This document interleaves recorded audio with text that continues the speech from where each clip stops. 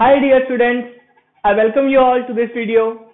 I am Namnish Bansal and I have been teaching chemistry to IIT aspirants from the past 12 years. I am also the author of this problem book of inorganic chemistry for JEE mains and advanced which is published by Wiley. Guys, uh, आपको पिछले कुछ एक videos में मैंने inorganic uh, का analysis बताया था JEE mains का फ़िज़िकल केमिस्ट्री का एनालिसिस हमने डिस्कस किया था पिछले वीडियोस में, और मैंने कुछ इंपॉर्टेंट टॉपिक्स भी आपको बताए थे। आप लोगों की रिक्वेस्ट पर आज हम लोग डिस्कस करने वाले हैं ऑर्गेनिक केमिस्ट्री पार्ट का एनालिसिस फॉर जेई मेन तो गाइज़ ऑर्गेनिक केमिस्ट्री के पार्ट में अगर आप देखो, ये टोटल 11 चैप्टर्स हैं हमारे पास। अगर इन चैप्टर्स की वेटेज के बारे में डिस्कस करूँ तो पहले हम एनालिसिस कर लेते हैं कि पेपर में कौन कौन से पेपर में किस किस चैप्टर से कितने कितने क्वेश्चंस आते रहे हैं। सबसे पहला चैप्टर है गाइस जनरल ऑर्गेनिक केमिस्ट्री जिसको हम लोग जीओसीबी कहते हैं।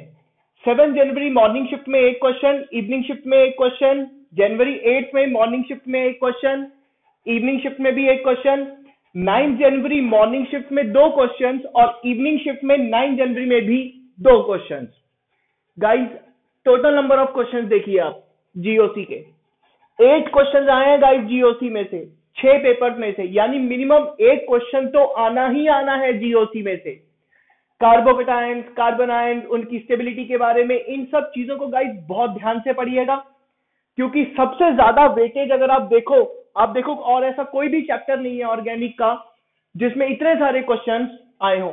यानी पूरी ऑर्गेनिक में, अगर कोई मोस्ट इंपॉर्टेंट चैप्टर है गाइस तो वो है जीओसी यानी जनरल ऑर्गेनिक केमिस्ट्री आपके पेपर में एक क्वेश्चन मिनिमम आने ही वाला है।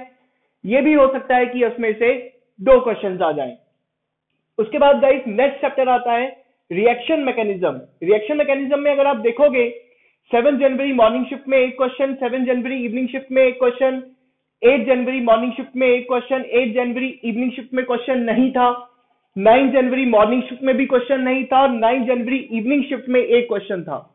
टोटल गाइस छह पेपर्स में से रिएक्शन मैकेनिज्म के टोटल नंबर ऑफ़ क्वेश्चन जो इस बार पूछे गए वो चार थे।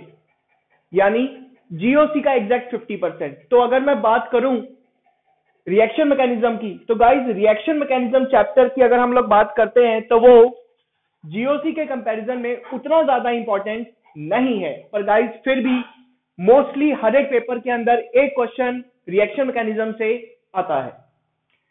थर्ड चैप्टर है गाइस हाइड्रोकार्बन हाइड्रोकार्बन में गाइस अगर आप देखो सेवन जनवरी मॉर्निंग शिफ्ट में कोई क्वेश्चन नहीं था इवनिंग शिफ्ट में एक क्वेश्चन था मॉर्निंग शिफ्ट में एट जनवरी में एक क्वेश्चन था एट जनवरी इवनिंग शिफ्ट में दो क्वेश्चन थे, जिसमें से एक नॉर्मल क्वेश्चन था और एक हमारा सब्जेक्टिव यानी इंटीजर टाइप का जो क्वेश्चन इंक्लूड हुए हैं, वो क्वेश्चन था।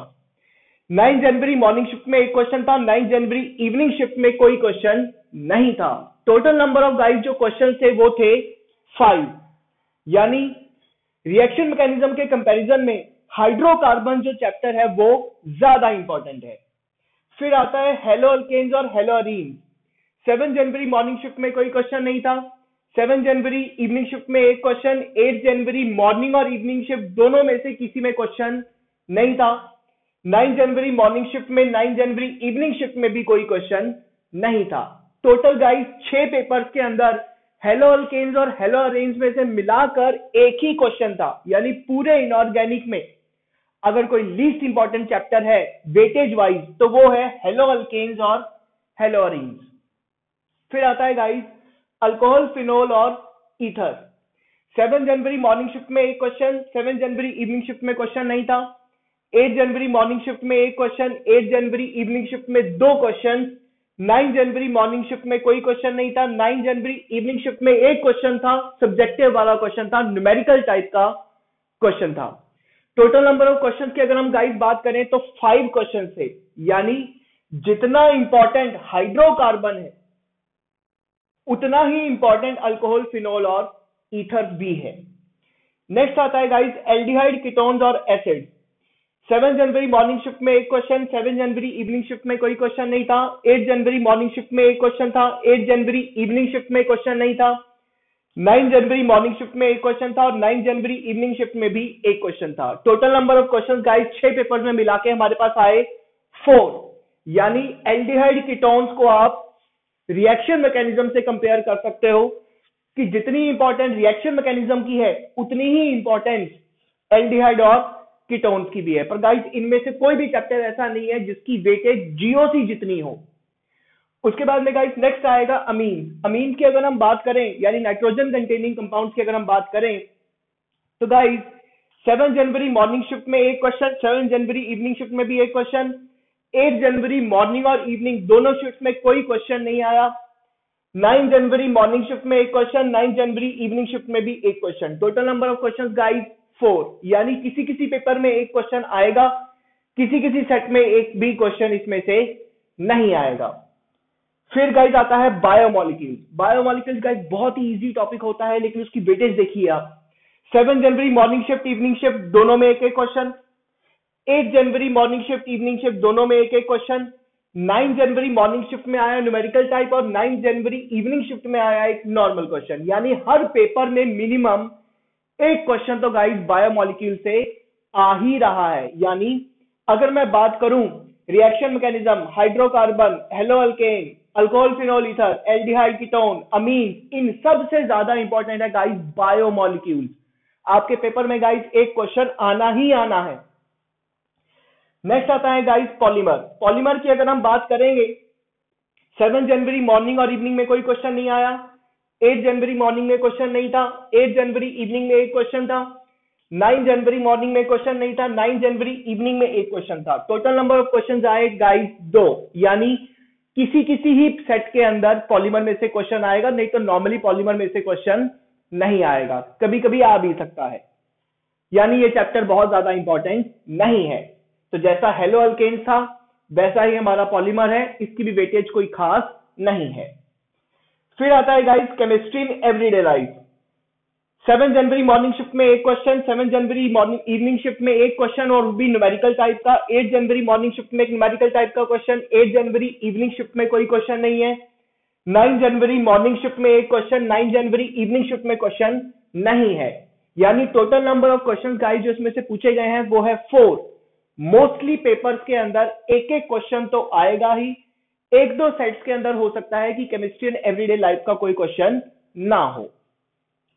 लास्ट टॉपिक आता है गाइस क्वालिटेटिव एनालिसिस अगर क्वालिटेटिव एनालिसिस की गाइस बात करेंगे सेवन जनवरी मॉर्निंग शिफ्ट और इवनिंग शिफ्ट दोनों में एक एक क्वेश्चन था. एट जनवरी मॉर्निंग शिफ्ट और इवनिंग शिफ्ट में भी एक एक क्वेश्चन था. नाइन जनवरी मॉर्निंग और इवनिंग में एक भी क्वेश्चन नहीं था. यानी टोटल छह पेपर में से चार में एक एक क्वेश्चन था, बाकी दो सेट्स के अंदर पेपर में क्वेश्चन नहीं था.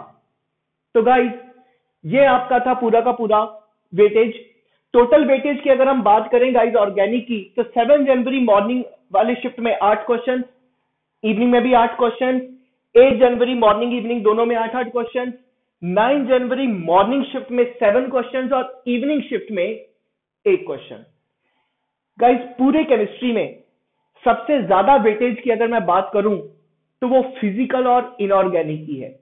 मोस्टली गाइस फ़िज़िकल में इनऑर्गेनिक uh, में गाइस नाइन क्वेश्चंस पूछे जाते हैं. इनऑर्गेनिक और फ़िज़िकल दोनों को मिला के गाइस ओवरऑल 17 क्वेश्चन मिनिमम पूछे जाते हैं और टोटल होते हैं 25 यानी अगर लीस्ट वेटेज किसी की है गाइस तो वो ऑर्गेनिक की होती है। दूसरा ऑर्गेनिक में भी अगर आप देखोगे तो मोस्ट इंपॉर्टेंट चैप्टर्स कौन कौन से हैं? जिसकी number of question guys five या फाइव से ज़्यादा है। जीओसी ये फाइव वाला हमारा है हाइड्रोकार्बन ये फाइव क्वेश्चंस वाला अल्कोहल फिनोल ईथर ये सिक्स क्वेश्चन वाला बायोमोलिक्यूल्स और बाकी गाइस नॉर्मल चैप्टर है। तो ये मोस्ट इंपॉर्टेंट चैप्टर थे। आप पिछले पेपर के एनालिसिस के हिसाब से देख सकते हैं कि किस टॉपिक पे आपको ज़्यादा स्ट्रेस देना चाहिए।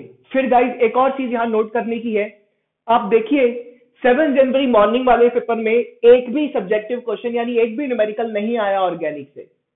सेवन जनवरी वाले में एक न्यूमेरिकल आया केमिस्ट्री एंड एवरीडे लाइफ से। एट जनवरी मॉर्निंग शिफ्ट में भी एक ही न्यूमेरिकल आया एट्थ में भी इवनिंग शिफ्ट में भी एक न्यूमेरिकल आया नाइन जनवरी मॉर्निंग और इवनिंग दोनों में एक एक न्यूमेरिकल आया। यानी गाइस जो पाँच न्यूमेरिकल टाइप के क्वेश्चंस होते हैं, उनमें से ऑर्गेनिक में से मैक्सिमम एक ही न्यूमेरिकल आता है अगर आया तो। और यह भी हो सकता है कि ऑर्गेनिक में से कोई भी न्यूमेरिकल पूछा ना जाए। न्यूमेरिकल ज़्यादातर किसमें से पूछा गया है? गाइस पाँच जो न्यूमेरिकल पूछे गए हैं टोटल छह सेट के अंदर तो उसमें से दो बार numerical chemistry in everyday life में से आया है। एक बार वो न्यूमेरिकल हाइड्रोकार्बन में से आया है। एक बार वो न्यूमेरिकल बायोमोलिक्यूल से आया है और एक बार वो आया है अल्कोहल फिनॉल और ईथर से। तो गाइस ये आपका था ऑर्गेनिक का एनालिसिस और वीडियोस देखते रहिए। अगले वीडियोस में हम लोग डिस्कस करेंगे कि जो एनटीए ने मॉक टेस्ट पेपर्स अपलोड किए हैं अपनी ऐप पर। उन पेपर्स के बेस पर एनालिसिस डिस्कस करेंगे। कौन कौन से टॉपिक्स इंपॉर्टेंट हैं? किस तरह के एक्सपेक्टेड क्वेश्चन आ सकते हैं? अलग अलग chapter wise so guys stay connected उन वीडियोस को देखते रहिए। वो वीडियोस आपके लिए काफ़ी हेल्पफुल रहेंगी। Thanks a lot